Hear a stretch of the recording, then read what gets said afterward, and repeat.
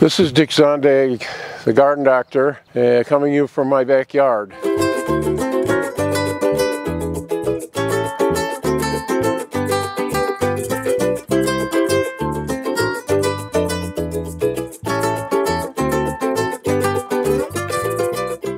Talk a little bit about renovating a strawberry patch. Uh, the strawberries that are behind me on the mound in my backyard were planted about three years ago. And the first two years I had really great production from them.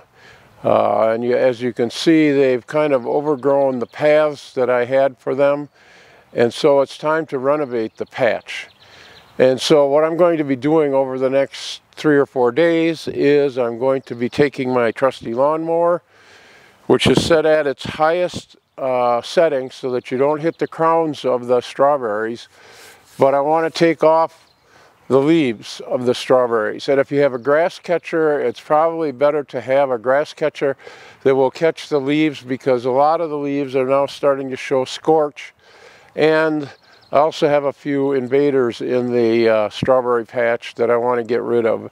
And so what I'm going to be doing is I'm going to be taking my mower at its highest setting and I'm going to be mowing my mound. I'm going to take all the leaves that are here and then I'm going to reestablish paths.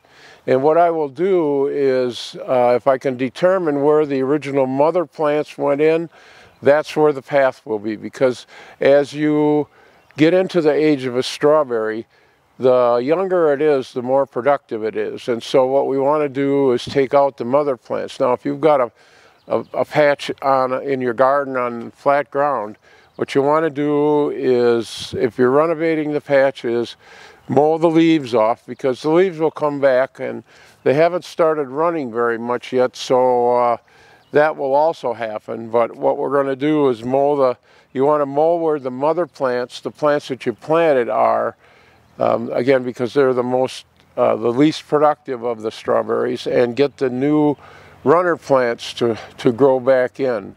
And so uh, tonight or tomorrow I'll be mowing them off and then I'm going to take a rototiller and reestablish the paths so it's a little easier picking over the next couple of years.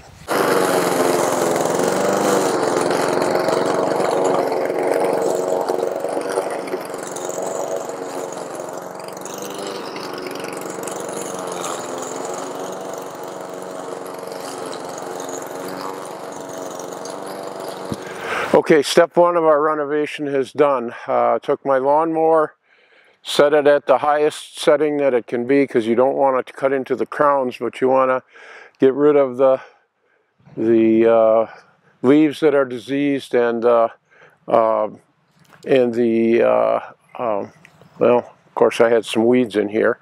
Get rid of the weed seed, and uh, our next step will be to get a rototiller and determine where the mother plants were planted originally.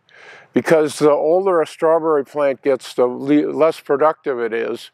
And so what you want to do when you're renovating a strawberry patch is to take out the uh, oldest plants. And so what we'll do is determine where the oldest uh, plants are, where the mother plants are, and we'll rototill through those to get uh, paths again through the uh, through the mound. So, and over the weekend I finished the renovation of my strawberry patch. What I did is I took the rototiller and carved the paths. I first marked out where I wanted to do the paths so I would take out the maximum number of uh, old plants and then I took the rototiller and rototilled through that and then what I did was I I uh, went through and raked raked whatever I could out of those paths because there's a lot of straw and uh, stuff that I left from last winter to kind of create a barrier for moisture and to keep the weeds down a little bit. So I raked that out.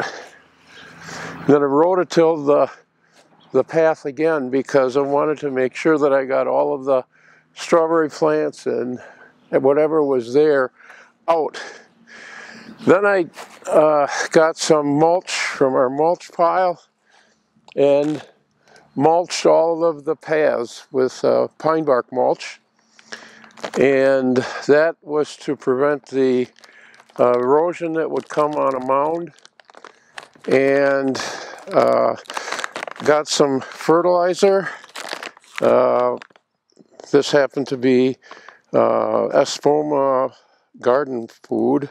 A little hotter than I would usually use on strawberries in the springtime because it would encourage more foliage. But at this time, after renovating the plant, cutting the leaves off, I want to encourage growth. So what I did was I took the triple ten and I just sprinkled it in the in the patch as I as I went through.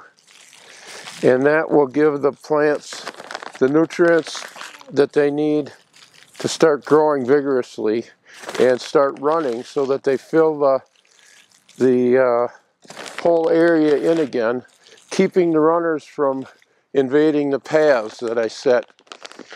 So that's how I renovate my strawberry patch.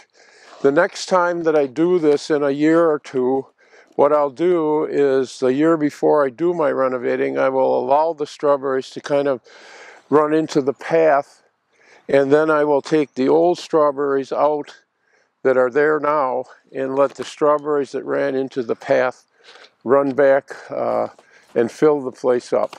So this is a little bit on renovating a strawberry patch.